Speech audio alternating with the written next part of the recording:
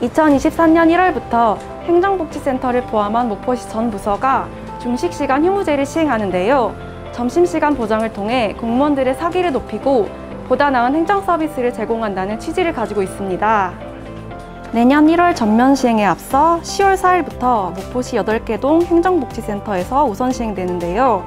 우선 시행 8개 동에 안내요원을 배치해 무인민원 발급기 사용법을 안내하는 등 민원 불편 최소화를 위해 노력할 계획입니다.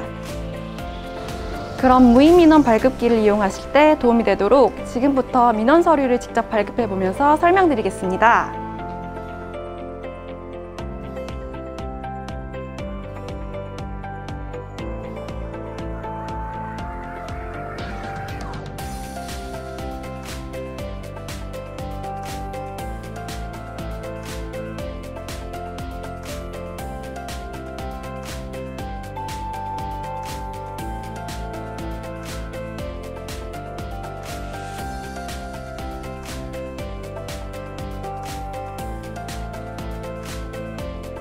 어떠세요? 생각보다 어렵지 않죠?